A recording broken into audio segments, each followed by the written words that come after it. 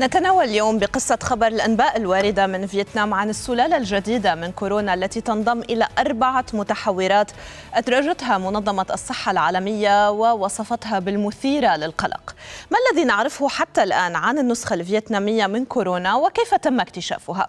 وفق الأنباء الواردة من وزارة الصحة الفيتنامية فإن الأطباء فحصوا التركيب الجيني لفيروس أصاب بعض المرضى الجدد واكتشفوا نسخة جديدة تعد مزيجا بين السلالتين اللتين تم العثور العثور عليهما لأول مرة بالهند وبريطانيا. وزارة الصحة الفيتنامية قالت أيضا أن المتغير الجديد قد يكون مسؤولا عن الطفرة الأخيرة في فيتنام التي انتشرت في 30 بلدية ومقاطعة في البلاد من أصل 63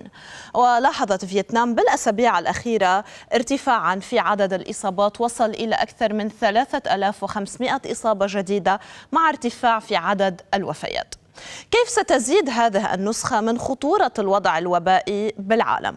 العلماء يتخوفون بشكل عام من أي طفرة تحدث للفيروسات فالطفرة هي تغير بترتيب المادة الوراثية للفيروس وبعض هذه الطفرات قد لا يترك أثرا في الفيروس ولكن بعضها الآخر قد يؤثر بقدرتها على الانتقال والعدوى وقد يزداد تركيز الفيروس في سوائل الحلق بسرعة وهذا ما لاحظه العلماء بالنسخة الفيتنامية من الفيروس التي تنتشر بسرعة في الهواء وبعض الطفرات قد تسمح للفيروس بالهروب من الجهاز المناعي وهذا ما يفسر أيضا سبب انتشاره بقوة بفيتنام البلد الذي معروف بأنه بيطبق تدابير وقائية صارمة منذ انتشار الفيروس بمارس من العام الماضي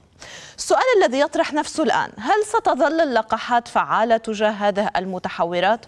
اللقاحات الحالية صممت بالاستناد لمواصفات السلالات السابقة من فيروس كورونا ولكن العلماء بيعتقدوا أنه يجب أن تستمر بالعمل على الرغم من أن قد لا تكون فعالة يعني بنسبة كبيرة. ويقول خبراء أنه في أسوأ السيناريوهات يمكن إعادة تصميم هذه اللقاحات وتعديلها حتى تكون فعالة بشكل أفضل بالأس... بغضون أسابيع أو أشهر إذا لزم الأمر كما هو الحال مع الإنفلونزا بحيث يتم إعطاء حقنة جديدة كل عام وفق التغيرات بفيروسات الإنفلونزا المنتشرة.